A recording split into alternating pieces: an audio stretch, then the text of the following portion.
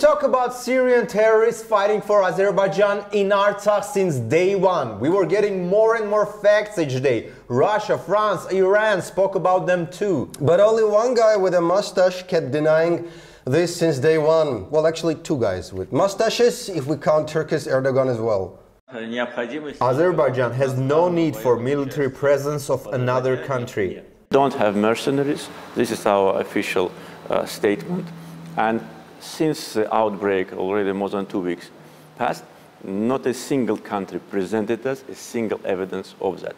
And, and moreover, we don't need that. Oh, but you do! Otherwise, how do you explain this captured Syrian terrorist testimony?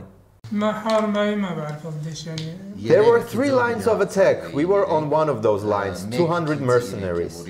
They were people who would watch over us and send us to the front line. Say if we had to capture a village, they'd make sure we were on the front line and they'd stay behind.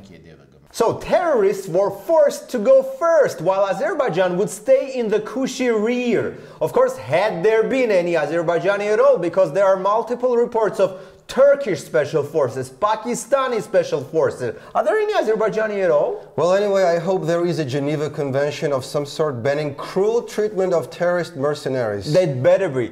Anyway, you'd ask what motive does a Syrian mercenary have for fighting for Azerbaijan? We find out about this in great detail in the interview of the next captured Syrian terrorist. They were promised $2,000 a month and a bonus. $100 for the head of every kafir. Do not confuse kafir with kefir, a delicious fermented drink. Kafir is basically an infidel. He's a kafir, I'm a kafir, you probably are a kafir. But it's actually kind of cool. Azerbaijan has a bonus program for its employees, social corporate responsibility. Unless, of course, they get killed in the first line and then you don't have to pay them anything. And judging by the necklace that they put the serial number 2894 on the Syrian, there are plenty of such employees transported from Turkey to Azerbaijan. The employees, the existence of which Aliyev denies. By the way, one of those non-existent employees just died, a commander in fact.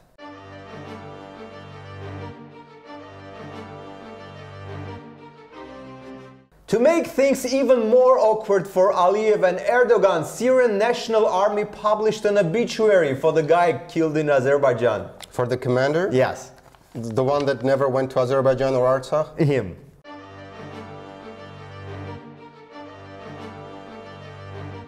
I envy the next journalist who gets to ask Aliyev and Erdogan about this. Or the military tribunal in Hague. To sum up, yes, the terrorists have been in Artsakh all along. Azerbaijan and Turkey put them there. And now we learn about terrorists in Vienna, France, and most of Europe. So the time for expressing concerns and condemning is long past. It's time for sanctions and fighting back.